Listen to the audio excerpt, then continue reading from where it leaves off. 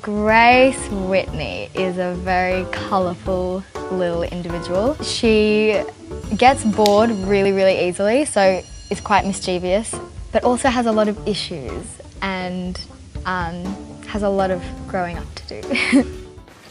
this is my goddaughter Grace. She's visiting from London. I'd like one of you to show her around.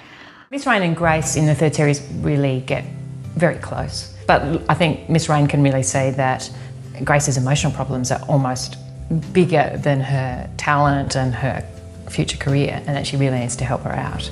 Grace needs the attention and the nurturing, but then when she gets too much of it or when she feels like she needs she needs Miss Raine, she will push her away and be horrible.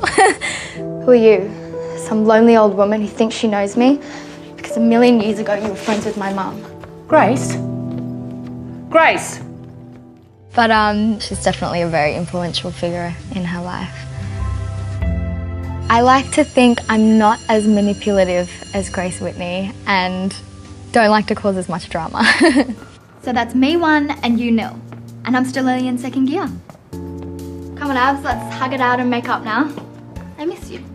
Grace is one crazy girl, and Issi is just the loveliest person that you'll ever meet. She'll be on set and she'll have to be totally mean to you and then she'll say it'll be cut and she'll go I'm sorry I'm so sorry she's just like this little cute cuddly thing that I want to take home with me Grace comes into um, season three really wanting to make amends with the rest of the group. She's in this journey of self-discovery and trying to work out what she wants and who she is and how she can become a better person.